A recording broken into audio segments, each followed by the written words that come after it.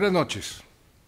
Como lo he venido haciendo periódicamente en las últimas semanas, quiero contarles sobre el avance del diálogo nacional alrededor del nuevo acuerdo de paz con las FARC.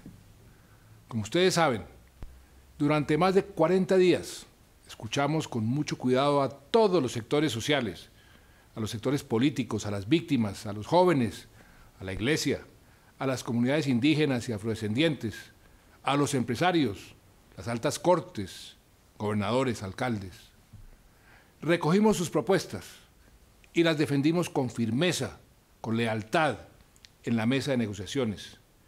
Y luego de nueve días e intensas sesiones de trabajo en La Habana, alcanzamos un nuevo, un mejor acuerdo de paz, ajustado y modificado con la inmensa mayoría de los temas propuestos por los colombianos.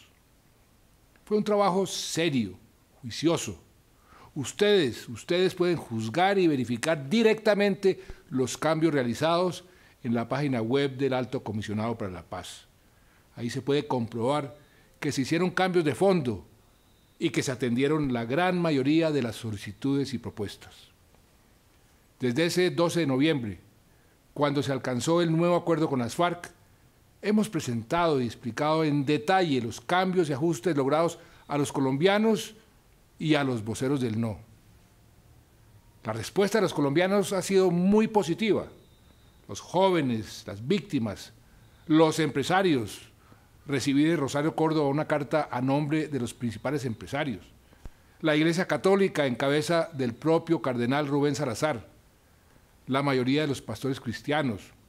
Los medios de comunicación, los gobernadores y alcaldes de todo el país han reconocido que los cambios son de fondo, significativos y satisfactorios para ellos. Todos han apoyado este nuevo acuerdo y han solicitado que iniciemos a la mayor brevedad posible su implementación para dar estabilidad y seguridad al cese al fuego y avanzar hacia la paz. El nuevo acuerdo también ha recibido el apoyo de la comunidad internacional, los Estados Unidos, la Unión Europea, todos los países de nuestro continente, sin excepción, reunidos en la OEA, saludaron y reconocieron el diálogo nacional y la inclusión de sus resultados y recomendaciones en el nuevo acuerdo. El fin de semana pasado también me reuní con los presidentes de China, de Estados Unidos y de Rusia, con los primeros ministros de Japón, Australia, Nueva Zelanda y los jefes de Estado de la comunidad de países del Pacífico. Todos, es decir, literalmente el mundo entero, expresaron su apoyo al nuevo acuerdo. Agradezco esas voces de respaldo nacionales e internacionales. Desgraciadamente, algunos de los sectores más radicales del no se siguen oponiendo al nuevo acuerdo, a pesar de sus claros e importantes cambios y ajustes.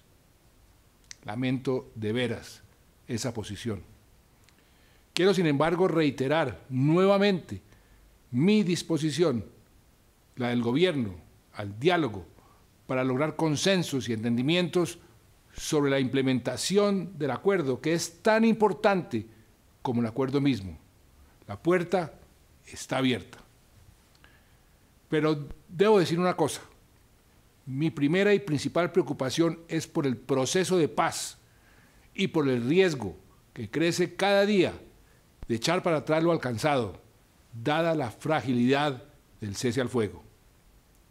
El incidente en el sur de Bolívar, los atentados y homicidios contra líderes comunales y defensores de los derechos humanos ocurridos en los últimos días, nos muestran que cada día que pasa aumentan los riesgos de nuevos incidentes. Esto lo confirmamos esta misma mañana en una reunión entre el gobierno, el fiscal general y el representante de Naciones Unidas para los Derechos Humanos. Se han perdido vidas y hay muchas más en peligro. No podríamos, no podríamos perdonarnos no haber actuado con prontitud y firmeza para corregir esta situación. Tenemos que actuar, no hay tiempo que perder. Por eso, el día jueves, pasado mañana, vamos a firmar este nuevo acuerdo aquí en Bogotá, en el Teatro Colón. Y una vez firmado el nuevo acuerdo, quedan los temas de la refrendación y de la implementación. En cuanto a la implementación, esta debe hacerse necesariamente en el Congreso. Es ahí donde todas las leyes de la República deben ser discutidas y aprobadas. Sobre la refrendación, siempre ha habido diferentes opciones. Una alternativa es realizar un nuevo plebiscito, un nuevo plebiscito sobre este nuevo acuerdo. La inmensa mayoría de los sectores de la sociedad civil, los jóvenes, la iglesia, sectores políticos han señalado su preocupación frente a un nuevo plebiscito. Una nueva campaña polarizaría de manera peligrosa al país. Y este es el momento de la unión, no de la división. Estoy de acuerdo con ellos.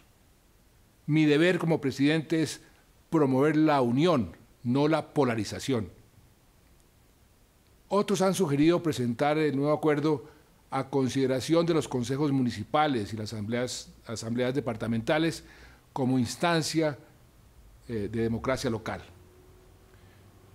Y una creciente opinión, incluyendo el presidente del Consejo de Estado, ha señalado que es el Congreso de la República la instancia democrática más idónea para refrendar el acuerdo de paz.